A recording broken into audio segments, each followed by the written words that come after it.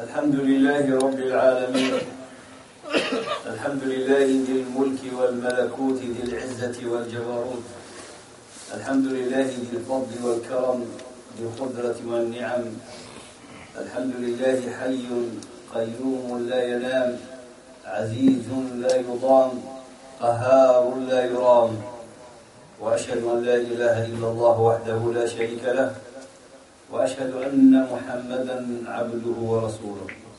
اللهم صل وسلم وبارك على سيدنا محمد وعلى آله وصحبه وسلم تسليما.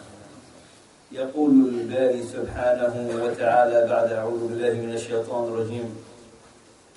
يا أيها الذين آمنوا اتقوا الله حق تقاته ولا تموتن إلا وأنتم مسلمون. believe, fear Allah as He should be feared and they not except on the state of Islam.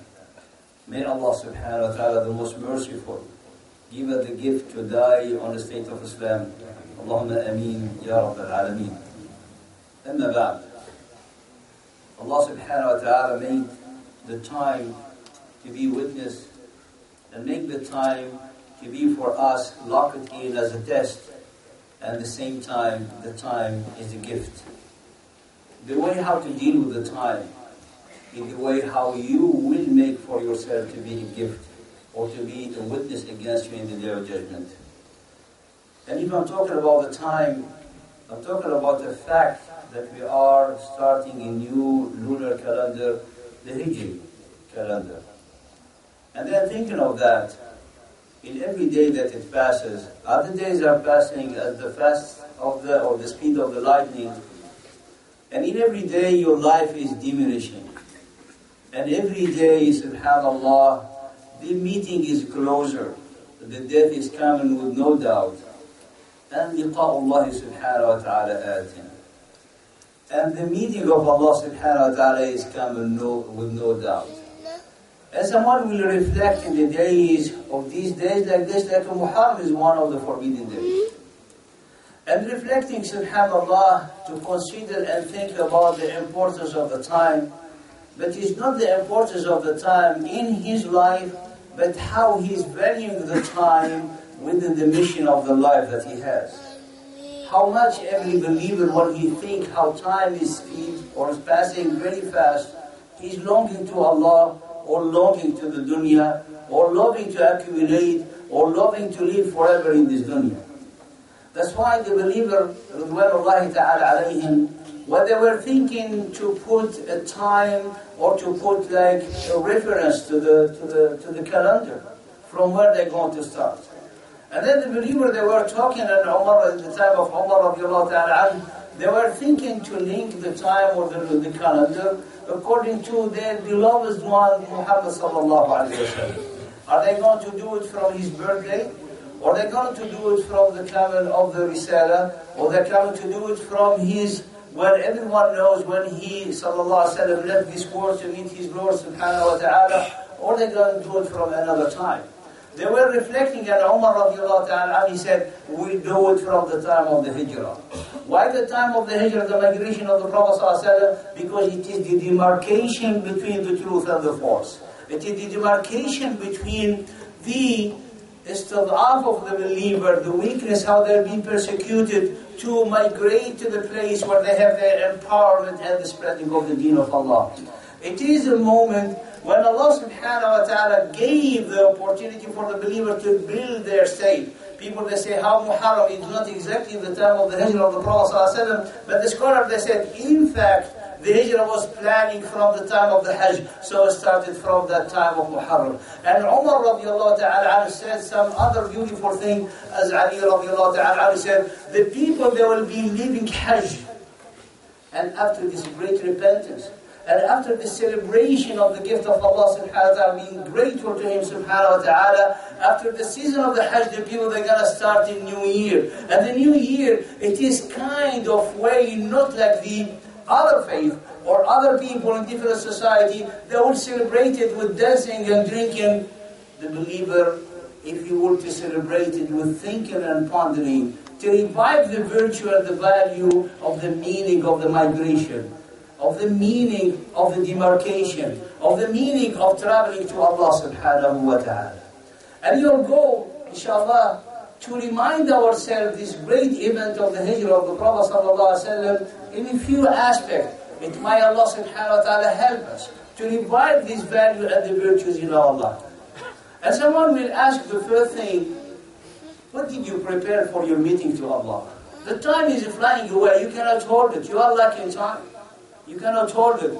Today, exactly, if you calculate and you look at your watch, this time will never come back. Therefore, this either is going to be in the future a blessing for you to remember that you were attending Jumu'ah remembering Allah, or to be a regret because someone was heedless or being rejected of faith at that moment every moment passes in your life is going to have a reflection into your record. It's going to have something in your record that represents that time. And you ask yourself, what have you prepared for you, Allah subhanahu wa ta'ala? What have you prepared into as a provision to meet Allah subhanahu wa ta'ala? And in this, we get one aspect. Because the way how you're longing to meet Allah is really reflected in the way how you act in the way how much you are doing the good.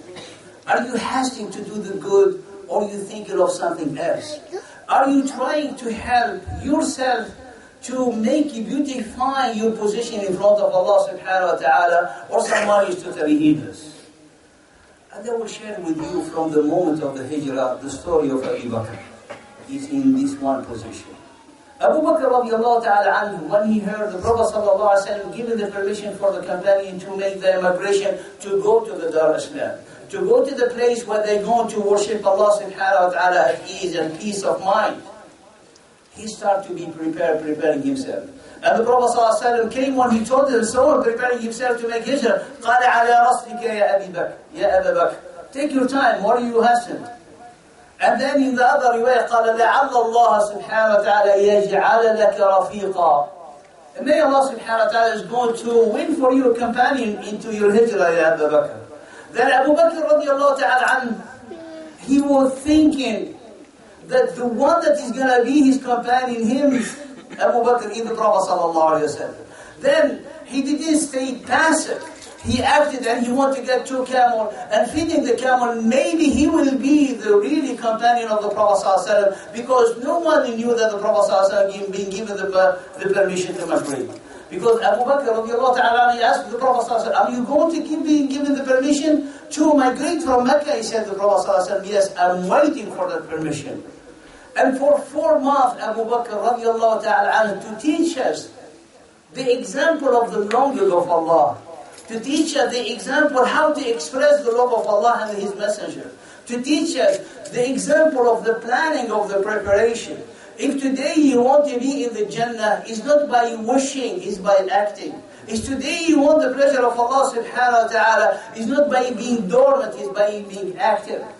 He heard that just the sign he might be the companion of the Prophet in his migration. He was working so hard. But the most amazing thing, when the Prophet came at that particular day, in the Bahira at the moon time, it was hard. And it wasn't the time or the habit of the Prophet to come at that time, because that time is the time where people, they will be resting. And he knocked the door, and he entered in the house of Abu Bakr, and he said, Yeah, Abu Bakr. I'm been given the permission.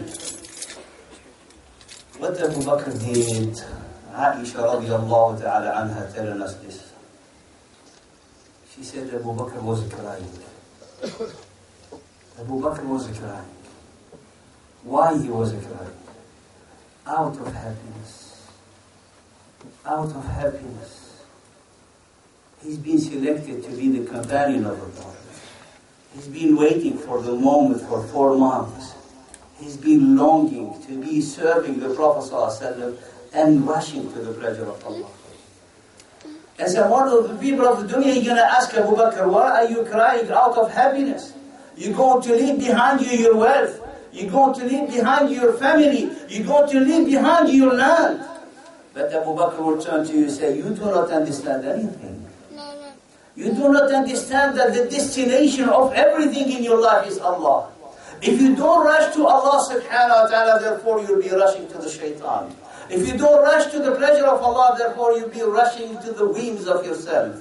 If you don't be rushing to Allah subhanahu wa ta'ala, therefore you're going to cause yourself to the wrath of Allah. إِلَّا تَنْفِرُوا يُعَذِّبْكُمْ عَذَابًا أَلِيمًا وَيَسْتَبْدِلْ قَوْمًا غَيْرَكُمْ If you do not march toward the way of Allah, Therefore Allah subhanahu wa ta'ala will cause you to punishment. And Allah subhanahu wa ta'ala will turn away from you. And Allah subhanahu wa ta'ala will bring other people who honor the deen of Islam.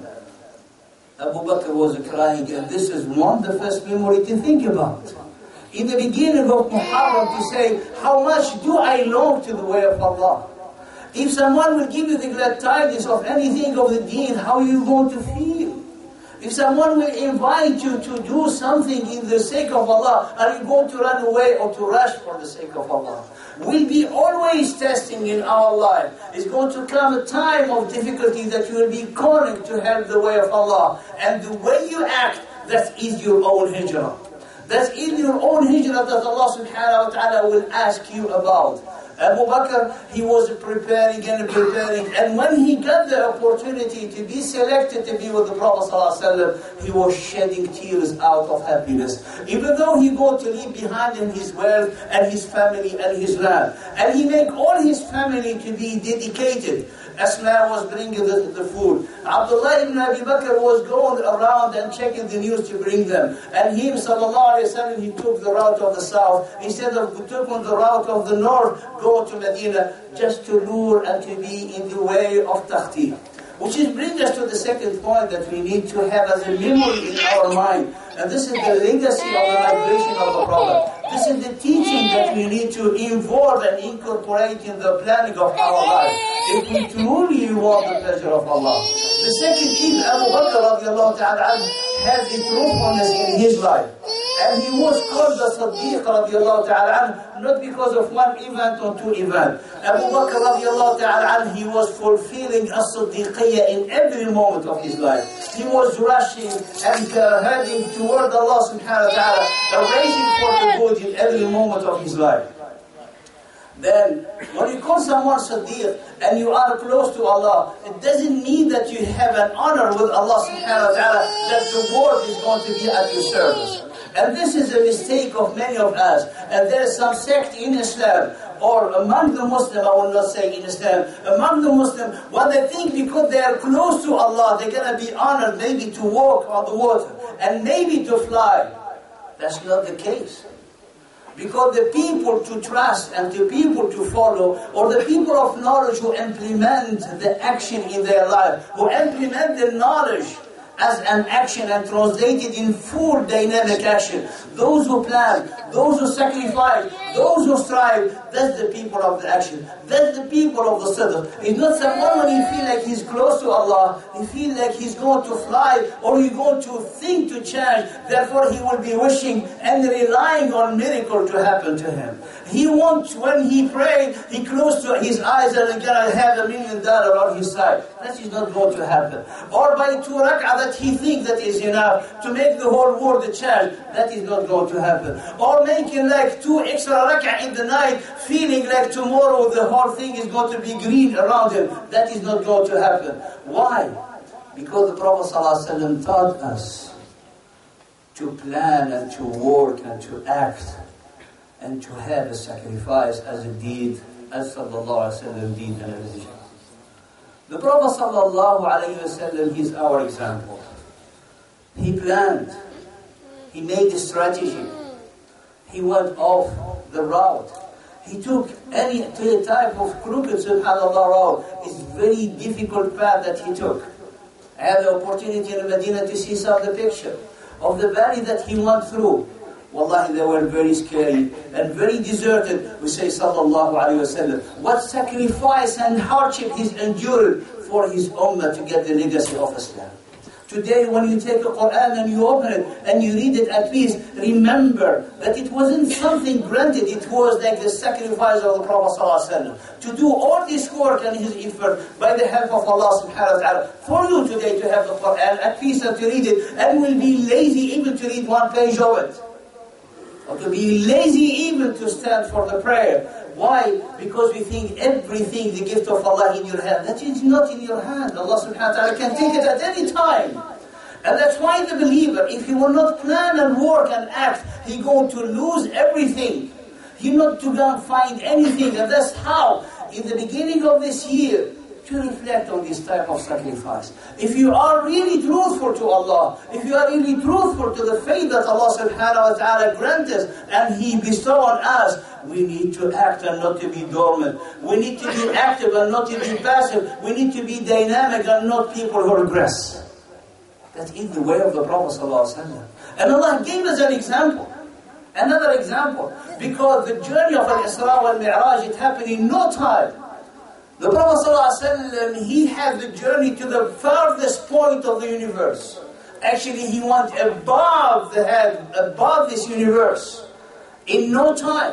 And Allah subhanahu wa ta'ala subjected as a creation, al-Buraq, to take him from Mecca to, to Al-Quds. Why Allah then, subhanak, you didn't have this, this animal to come to the Prophet ﷺ to take him to Medina? Why? Why Allah subhanahu wa ta'ala, the Prophet ﷺ didn't ask Allah to just close his eyes and he will be by the boundaries of Medina and he find all the companions cheering him and welcome him. Why? Because he's our example. We do not rely on wishes and miracles. And this is the balance between the nature of human being that we have and the faith.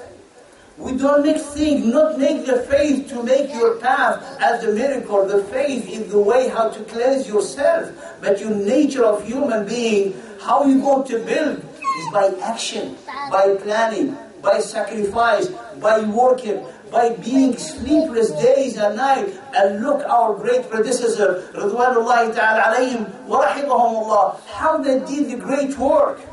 We have the Islam in a tray, carried with sacrifice and blood and striving to the heart. That is the remembrance and the memory of the Hijrah.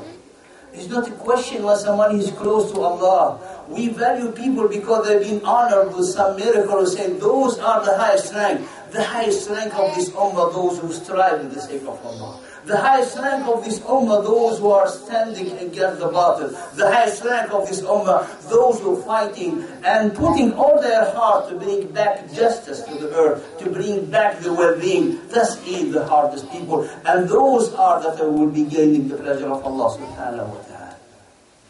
And Abu Bakr, radiallahu ta'ala with action of sidq, with action that he put in every moment, he wants Allah radiallahu ta'ala but in one of the actions narrated by Al-Baghawi ibn Kathir, he was in a situation after giving all what he had, he doesn't have a garment to wear. And when the Prophet ﷺ missed him, he said, where's Abu Bakr? They said, he, he, he must be around. They called him. And he has a aba'a that he poured it. He just, he cannot even, you know, zip it or to, just to close it. He has put pins, pins out of bones And he came, subhanAllah, ala istihya. And he sat next to the Prophet ﷺ in a way that he is concerned, maybe he going to be uncovered by the garment he was wearing is not something garment that is known, like it's not a abaya. And suddenly a man entered, wearing almost the same thing that Abu Bakr wearing. And he came, sit next to the Prophet ﷺ, no one knows him. And he left. And then the Prophet ﷺ said to Abu Bakr, Do you know this man? قال لا يا رسول الله He said, this man was Jibreel. He came to send you from Allah the greetings. Allah subhanahu wa ta'ala ya Abu Bakr yuqri'uka salam. Sending you his salam.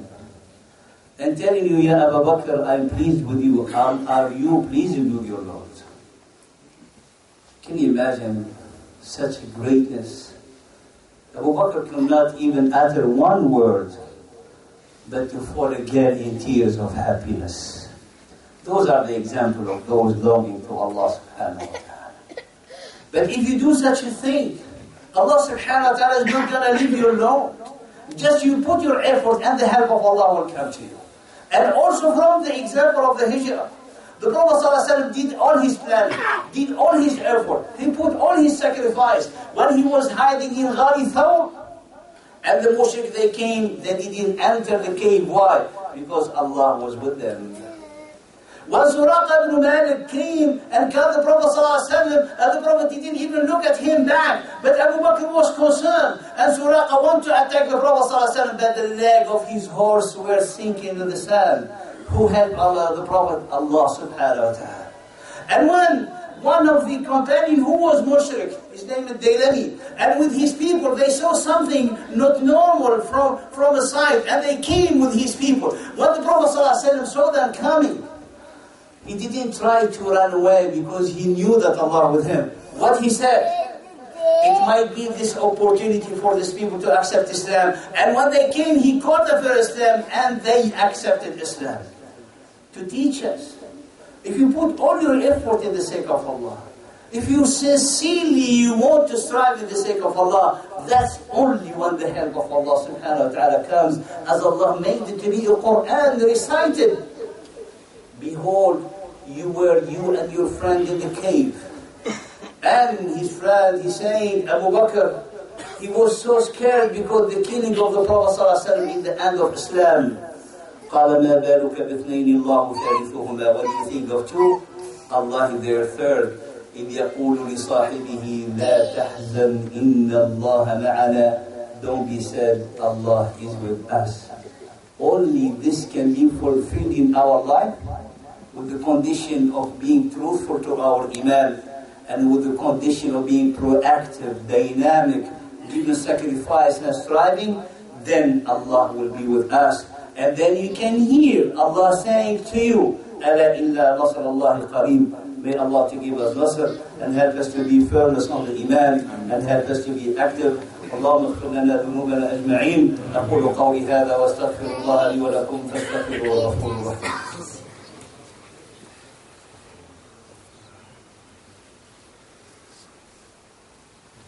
بسم الله وكفى والصلاة والسلام على النبي المصطفى أما بعد Infinite are the lessons from the migrations of the Prophet wasallam. But it is a way for us to remind the values, the virtues from this great event who became the beginning of the Islamic calendar. It's for every believer to reflect on these values and to reflect the wisdom of the companion especially at their head and leadership, Umar to make the year to start with the Hijrah And to make, to understand something. And you ask yourself, are you longing to meet to Allah? Are you going to answer yes? Then look at yourself the way you act. Look at yourself, what do you have in your heart? Because no change will happen in our life if we do not love Allah and His Messenger more than we do love ourselves. قل إن كان آباؤكم وأبناؤكم وأزواجكم وإخوانكم وأزواجكم say if your fathers, your children, your brother, your spouses, your tribe and extended family, the money you are saving, the business you have, the homes you love, are dearer to you than Allah and His Messenger and striving in His sake, then wait till Allah subhanahu wa ta'ala cause you to wrath and to do. إن الله لا يهدي القوم والله لا يهدي القوم الفاسقين and Allah doesn't guide those who are wicked. That's ya when a true believer, if you really seek the change, we need to start with our heart. What do you have inside your heart? Do you have the love of Allah and His Messenger? Just act upon that. Because that love, which is testified and witnessed by the Sidq, how truthful and sincere, that is, is going to be the foundation that you're going to stand on in the day of judgment. Remember, يَوْمَ تَزِلُّ الْأَقْدَامِ The time when the aqdam, the feet that will be sliding away to fall in hellfire when we be crossing the path. what is going to be standing on, you will not have the power to stand on a very thin, as the sirat, very thin and very sharp as a blade. You are not trained to pass or to stand on such a thing. The thing that is going to hold you is your rank, is your piety, is your taqwa, is your sidq, is your ikhlas. If you do not do it today by remembering the value of the hijrah, to make yourself in the journey of the hijrah, will be wal billah among the losers. May Allah subhanahu wa ta'ala to help us have firmness on the path and to grant us the love of Allah and His Messenger with sincerity and action and to make us revive the value and the virtues of the hijrah of the Prophet ﷺ to the way to say to ourselves at any moment when something will scare you, say, La tahzan, Allah is with us. If you have difficulty, repent to Allah, Allah is with you. And remember the big difficulty that the companion was facing in Tabuk. And Allah subhanahu wa ta'ala helped them and give them victory. Why? Because of their sincerity and their truthfulness. May Allah subhanahu wa ta'ala يجعلنا من الصادقين. اللهم اجعل أعمالنا صالحة ولوجهك خالصة. اللهم اغفر لنا ذنوبنا أجمعين وتب علينا إنك أنت التواب الرحيم. اللهم ارزقنا الصدق في القول والعمل.